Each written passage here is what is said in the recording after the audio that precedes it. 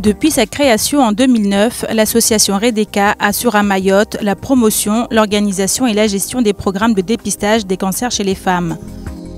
Donc de 2010 à 2019, l'association Redeka euh, organise euh, des frottis dans tous les, dispensaires, les maternités et même les médecins, médecins de, ville, hein, de médecins privés, peuvent aussi contribuer à, faire le dépistage euh, des cancers du col notre compte. Donc comment ça se passe? C'est des dépistages qu'on fait de 25 ans à 65 ans. donc le premier est fait à 25 ans. Ensuite, s'il est normal, on le fait un an après, à 26 ans, et puis après on espace de tous les trois ans si euh, euh, le deuxième est normal. Mais face à une offre de soins limitée, conjuguée aux difficultés de déplacement, les consultations de dépistage du cancer du col de l'utérus sont difficilement accessibles pour une grande majorité de la population.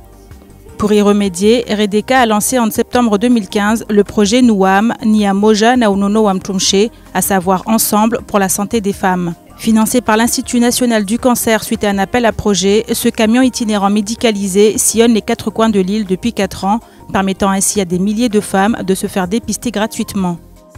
On a remarqué qu'il y a 47% de dames de 40 à 65 ans qui viennent se faire dépister dans le camion. Pour faire la sensibilisation, euh, on va dans les villages on sensibilise, euh, on entre dans un quartier, on sensibilise toutes les, les voisins, tous les voisinages. En plus de faire connaître la maladie et de lutter contre les inégalités d'accès à la prévention, ce dispositif de santé de proximité a pour objectif d'assurer un diagnostic et une prise en charge précoce des patientes. Si je vois soif maintenant, le maternelle, vovotsy para